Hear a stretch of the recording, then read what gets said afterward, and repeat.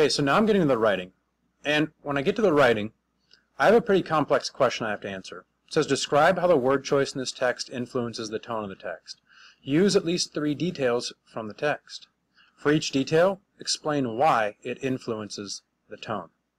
And then, and how that tone relates to the theme of the text. Whoa. There's quite a bit in here. And what I'm going to do to give this example is color code my answer. And I would suggest you guys do the same. So describe how the word choice in the text influences the tone of the text. So I have kind of a generic question I need to answer. I'm going to make that red. And usually when you're answering any sort of question or prompt, I tend to, unless I have a great reason otherwise, go in order with the question as in terms of when I write. So if I have this red part right here, I'm going to start by answering that red part in my writing and then kind of work my way through. Use at least three details from the text. That means text evidence. So I'm going to make that part purple.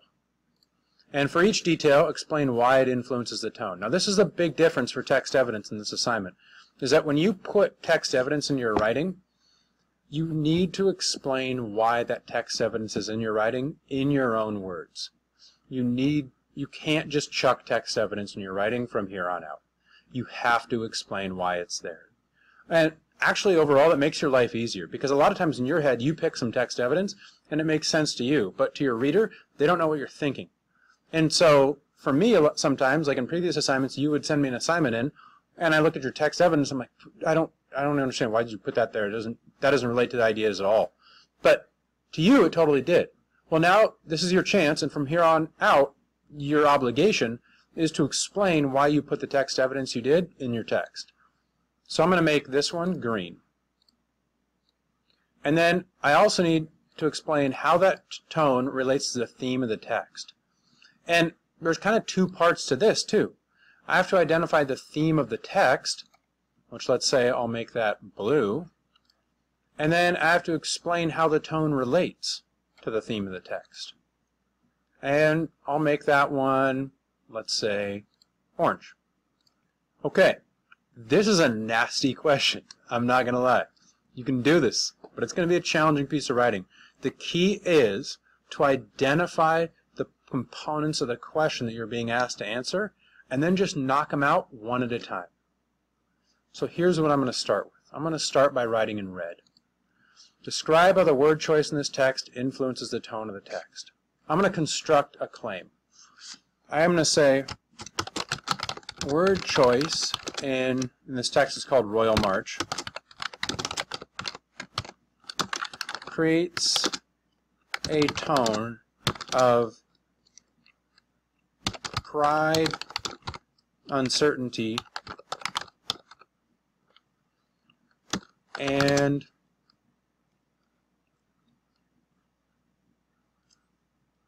what kind of things.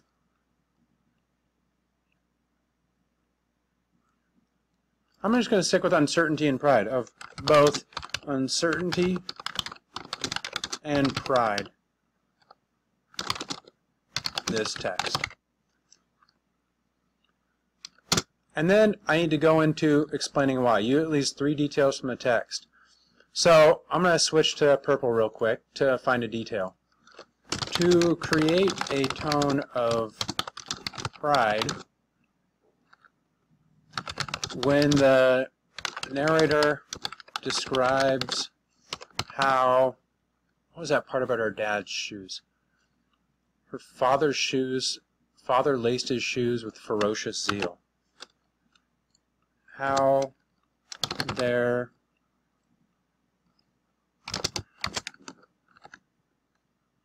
Uh, so I'm going to chop out, because my doesn't sound good, I'm going to edit that out and go dot space, dot space, dot space. You can always cut parts out of a quotation by just doing dot space, dot space, dot space. Just don't do it so much it changes the meaning of the quotation. My father laced his shoes with ferocious zeal. I'm going to make that purple too. How their father laced his shoes with ferocious zeal before starting to march. The word, and then this is where I'm going to get to my description. of why it influences the tone, specifically explaining my thoughts. The word zeal means to be proud, uh, passionate about a cause, and to lace your shoes with zeal shows that you must be really passionate. I'm going to switch back to purple. Or maybe I'll say passionate and take a lot of pride in your cause. Okay, now I'm going to switch back to purple and find more evidence. Uncertainty and pride. However, there is also uncertainty created by the word choice. The narrator describes a dust encapsulated the floating figures within my mind.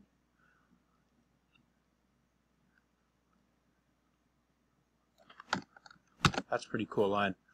Narrator describes how how um, dust encapsulated the floating figures within my mind. I was drawn into reveries of freedom. And just to save a little time here for your viewing, I'm going to just finish by, I'm going to skip, and I would need to have one, so I need to have an explanation. And I'll add this, I'll make an example and I'll post it on the final assignments. Um, and then one more quotation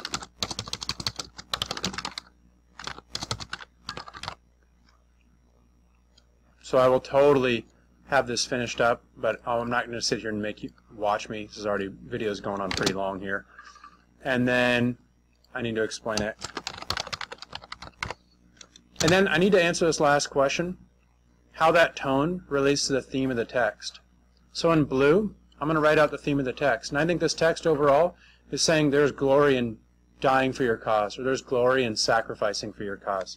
So the theme of the text is that there is glory in sacrificing yourself for a cause you believe in. And then, how does the tone relate to that?